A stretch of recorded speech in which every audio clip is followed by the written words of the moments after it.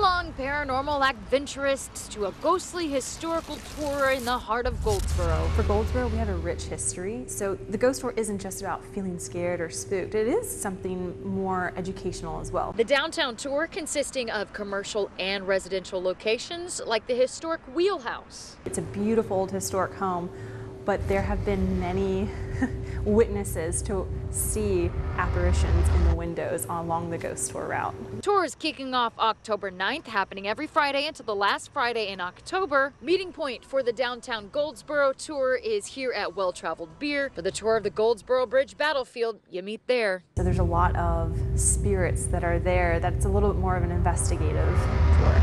At 15 bucks per person, you get about a two hour tour.